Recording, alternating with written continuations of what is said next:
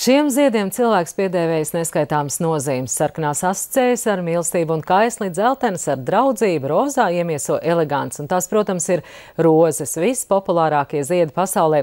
Dabas muzejā sākusies izstāde Rožu dārs, un tajā savas izlolotās rozes rāda pieredzējusi audzētāji no Siguldas novada. Kā pārliecinājās mana kolēģi Judīta Čunka, rožkopu dzīve nebūtu nav tik romantiska, cik skaistais zieds.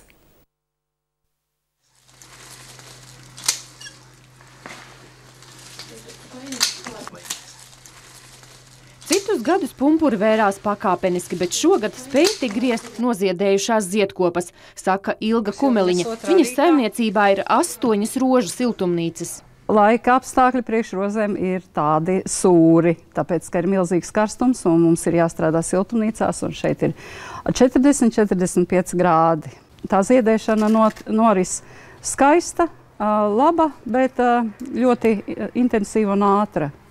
Tas, kas teiksim, no rīta iziet, jau pret vakaru ir saule viņu apskādējusi un ziedlapiņas jau aprāvusi. Pircēji parasti pieprasot stādu tieši ar ziedu, lai būtu pārliecināti, ka nopērk tieši to un ne citu rozi.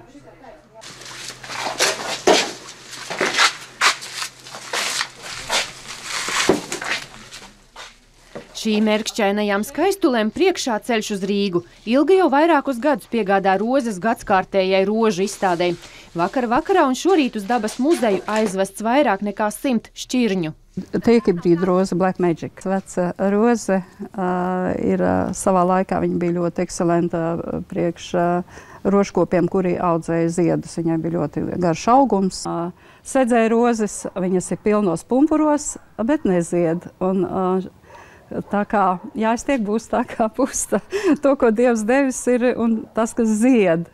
Jo nu, šī lieta ir tāda, ka grūti ir paredzama. Paldies Dievam, ka vispār zied šogad? Jo, nu, roziet kampaņveidīgi, tas nav pēc, pēc mūsu vēlmes un, un, un gribēšanas uz to datumu. Ar rozēm Ilga nodarbojas jau 35 gadus. Izdzīvot un kopā galus savilkt varot, bet vajadzīga līdzekļu saimniecības attīstībai un siltumnīca atjaunošanai, un tā jau ir problēma. Pirktspēja ir krietni samazinājusies, bet es nedomāju, varbūt arī tikai pirktspēja. Mēs jau Latvijā esam maz cilvēki palikuši. Un tas, tas gan ļoti ietekmē.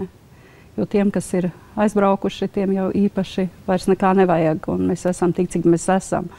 Un, uh, tas Krievijas tirgus, ja mums viņš būtu, tad jā, vecos laikos viņš bija un, un skaidri zināja, nostrādās tik un tik mēnešus, varēsi to un to atļauties un domāt un darīt.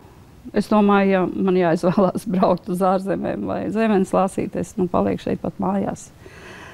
Kaut vai ar garozi, bet projām, nu nē, nē. Visus darbus saimniecībā paveic pašu spēkiem, jo atrast labus strādniekus ir grūti. Turklāt nevarot arī prasīt, lai visi ir īsteni rožu cienītāji, kas gatavi paciest dzelkšņus, bet savējiem rozes nedurot.